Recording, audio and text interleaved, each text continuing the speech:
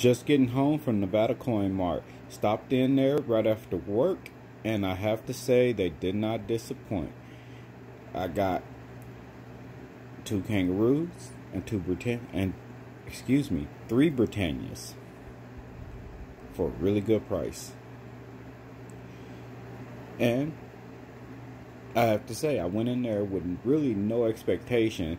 I just see the guy on TV or on YouTube with his little commercial talking about Jones and Flamingo, Jones and Flamingo. So I went on and stopped in. And look at what I come out with. It's a cash only spot. And no firearms allowed and you have to take your shades off. You can't have your face covered up, you know. And I get it. I understand why they would do that. They they have hard currency all inside. So they got to make sure they're protected. I get it.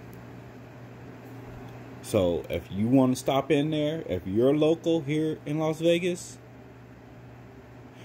go on, get your cash, and get in there and get you some some nice silver as they got plenty of it. And like always it's urban life keeping it stacking and smacking. Until next time